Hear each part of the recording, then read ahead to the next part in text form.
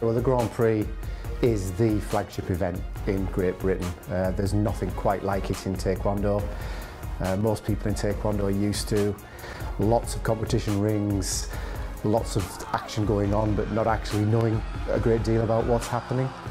Uh, the Grand Prix itself is uh, an incredible sports presentation event. You have all the show around it, top 30 athletes around the world coming all in one go to our doorstep.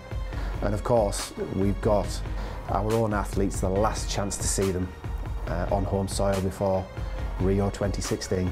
The Grand Prix series in 2015 uh, is all about qualification to Rio itself. At the end of 2015, top six athletes booked a place to Rio for their country. So you can imagine the pressure that, that's on, on our guys for that. Uh, people like Jade and Lutalo, uh, Muhammad Bianca, all, you know, all the top stars will be here in Manchester. We're back at the regional arena.